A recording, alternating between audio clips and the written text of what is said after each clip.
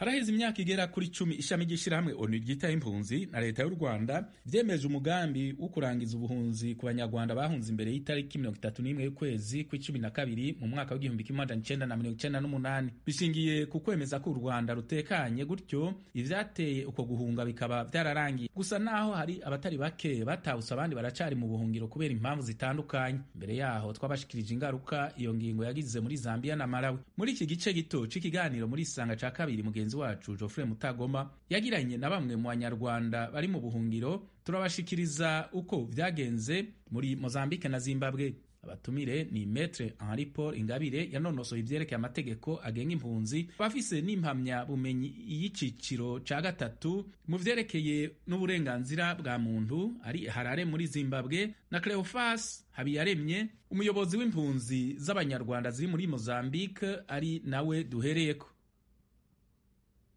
icyemezo bamaze kuvuga ko kizajyaho bateye ubwoba mu mpunzi nyinshi z'abanyarwanda ubwoba bawugize kubera yuko icyo bahunze cyari kitararangira kandi noneho bakibaza ukuntu u rwanda ubutegetsi bwa fpr ari nabwo bahunze ari bwo buhindukira bajya bavuga ngo icyo abantu bahunze cyararangiye noneho hcr na yo ikora ikosa ryo kumva uwo bahunze ntijye kumva uwamuhunze icyo abitekerezaho. Ariko rero icyaje gusa wenda navuga ku mpunzi zo muri mozambique ni uko kugeza ubu ngubu tuvugana icyo cyemezo muri mozambique kitashyirwa mu bikorwa. Ni ukuvuga ko cyaremejwe cyemezwa na leta y'u rwanda cyemezwa n'ishami ry'umuryango w'abibumbye ryita ku mpunzi hcr ariko bigeze kuri leta ya mozambique ntiyumvikana nabo. Bavugaga ko mu myanzuro bafashe ko igihugu ari cyo kizafata umwanzuro wa nyuma. Rero umwanzuro wa nyuma mozambique yafashe ni uko yo yagumishijeho ubuhungiro ku mpunzi z'abanyarwanda kuko ngega ko yemezaga neza ko ibyo bahunze bitararangira. Kandi impamvu wenda nakongeraho ni uko n'ubu ngubu abantu bakomeje guhunga ari benshi mu rwanda. Ni ukuvuga ko amashami ashinzwe kwakira impunzi cyangwa gukurikirana imibereho y'impunzi muri mozambique yakomeje kwakira impunzi nyinshi zivuye mu rwanda. Ubwo rero wibazaga ukuntu wavuga ngo icyo abanyarwanda bahunze cyararangiye kandi n'abandi bakiri guhunga. Ubiri n'amahire uri umuyobozi w'impunzi aho ngaho muri mozambique ugize uti na n'ubu ngubu hari abanyarwanda batari bake bahunga u rwanda. Ni ku mpamvu za politiki cyangwa n'abimukira basanzwe bishakira imibereho? Ni impamvu z'umutekano ubwo ni ukuvuga nyine ni impamvu za politiki. Kuko abanyarwanda benshi bahunga muri bahunga mu rwanda umutekano wabo ni mukeya baratotezwa baricwa noneho bakabona ko ubashije kubona uko agenda aragenda. Nkeka ko ndetse n'ubu ngubu hari abandi bakiri mu rwanda kubera ko babuze aho banyura. Babonye inzira banyuramo bahunga ari benshi. Tujye muri zimbabwe uko byari bimeze duhereye icyo gihe metere ngabire nk'uko byari byatangajwe n'umuryango w'abibumbye umaze kumvikana na leta y'u rwanda bari bafashe icyemezo cy'uko impunzi z'abanyarwanda zagombye gutaha kuko bari batekereje ko bamaze kumvikana leta y'u rwanda ko nta cyatuma izo mpunzi zidataha ariko ndagira ngo mbibutse ko icyemezo cyo gukuraho ubuhunzi n'ubundi kiba gisanzwe kiri mu mategeko mpuzamahanga nk'itegeko rigenga impunzi ryo muri mirongo itanu na rimwe cyangwa itegeko rigenga impunzi ryo muri afurika ryo mu gihumbi magana cyenda mirongo itandatu n'icyenda. Kuko mu ngingo zabo bavuga ko umuntu ashobora kureka ubuhunzi ashobora impunzi kubera ko icyatumye ahunga cyavuyeho.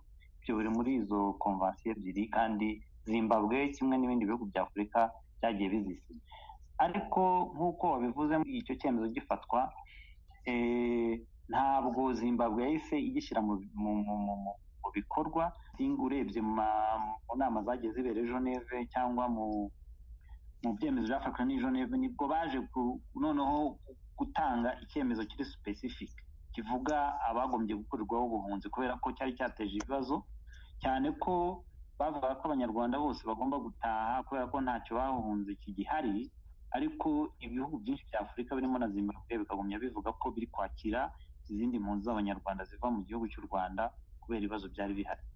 Noneho kubera izo mpamvu icyo gihe ni bwo umuryango w'abibumbye wafashe icyemezo cy'uko impunzi zagombye gukurirwaho iyo sitati y'ubuhunzi ari impunzi zahunze kuva muri mirongo itanu n'icyenda kugeza muri igihumbi magana cyenda mirongo cyenda n'umunani. Noneho ibyo byahise bituma impunzi zahunze muri igihumbi magana cyenda mirongo icyenda n'umunani kuzamura kugeza n'uyu munsi zitarebwa n'icyo cyemezo. Ubwo rero muri make zimbabwe uko yabigenje hano muri zimbabwe habanje kuba uruzinduko rwa minisitiri wari ushinzwe impunzi yaje muri zimbabwe hanyuma ajyanwa no mu nkambi y'impunzi hanyuma akorana n'inama n'impunzi. Inama yabereyemo impaka ndende cyane impunzi zimubaza ibibazo zinamwereka yenda ibimenyetso zakekaga ko zerekana ko muri make ibyo yavugaga yenda batabyemera.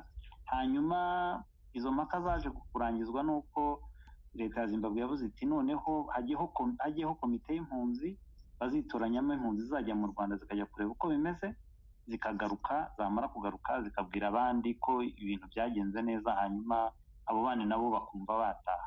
Ubwo uwo muminisitiri yari azanywe no kugira ngo ababwire basubire mu rwanda muri rusange kugira ngo arebe ko icyo cyemezo cyashyirwa mu bikorwa aho muri zimbabwe? Muri make yari aje kugerageza kubwira impunzi ko zataha zose. Yego. Ariko anababwira ko yaje mu bihumbi na cumi na rimwe icyo gihe yanababwiraga ko hari icyemezo kizabafatirwa cy'uko bazakurwaho sitati y'ubuhunzi. Ubwo rero ni bwo leta ya zimbabwe yavuze iti izo mpaka twe ntitwazishobora ntabwo turi mu rwanda mwebwe mwazohereje abantu bakajya kureba uko bimeze bakagaruka bagatanga ripoti hanyuma iyo ripoti yaba noneho tukayigenderaho dushishikariza n'izindi mpunzi gutaha. Iyo komite yagiyeho hanyuma hari abantu bagiye mu rwanda bagarutse amakuru mfite ni uko ripoti batanze yari so adivesi dongo muri make ntabwo yatangaga icyizere cyo gutaha ku buryo icyo cyemezo cyo kuvuga ngo bagomba gushishikariza izindi mpunzi gutaha zimbabwe yashushe n'aho ikihorera irabyihorera. Hanyuma mu bihumbi bibiri na cumi na kabiri ariko zimbabwe icyo gihe yafashe icyemezo cy'uko kubera ko muri iki gihugu kugira ngo ubone ubuhungiro ugomba gukora ugomba kubazwa ibyo bita interview. Ni n'ababishinzwe. Buri muntu abona sitati y'ubuhunzi biturutse ku byo yavuze not kubera ko yageze mu gihugu. Yafashe icyemezo cy'uko abantu bagomba gusubirishwamo abo bose barebwaga n'icyo cyemezo. Ni abantu bahunze kuva muri mirongo itanu n'icyenda kugeza mu gihumbi magana cyenda mirongo icyenda n'umunani bagombaga kongera gukoreshwa interiviyu cyangwa se kubazwa bakareba koko niba icyo bahunze cyaba kigihari cyangwa niba cyararangiye. Ibyo byarabaye abantu barahamagawe bajya gukora ayo mabazwa bararangiza bamaze kurangiza. Harimo abo zimbabwe yaje gutangaza ko babone impamvu batanga zo kuguma muri zimbabwe zitacyumvikana ariko abenshi abenshi bagiye gukora iryo bazwa zimbabwe yasanze impamvu bafite zumvikana ni uko irabareka bo bagumana sitati z'ubuhunzi abo ngabo muri bake basigaye ubwo bari basigaye bafite uburenganzira bugendanye n'ibyo ateganya muri zimbabwe bwo kujuririra icyo cyemezo kugeza na n'ubu uretse mu byumweru bibiri bishize nta muntu n'umwe w'umunyarwanda wari wagakuwe muri zimbabwe kubera ko bavuze ko agomba gutaha.